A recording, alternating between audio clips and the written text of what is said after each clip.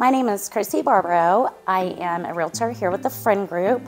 I am originally a native Houstonian and I currently reside in Friendswood. The reason I got into real estate is I'm passionate about helping people. Um, and whenever my husband and I purchased our first home, as first time homebuyers, we felt really lost with the process. Um, I make it my goal to make sure all of my clients are comfortable and confident with the decisions that they make.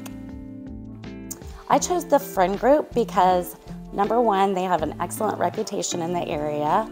Uh, number two, the culture here is phenomenal. Um, and I really wanted to be part of a group where leadership pushes you to be a leader.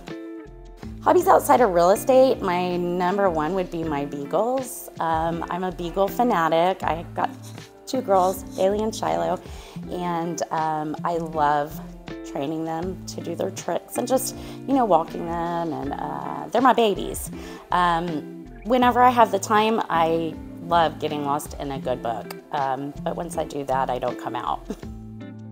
I want my clients to know that I am very dedicated. Uh, I am very dedicated to helping them meet their real estate goals and needs.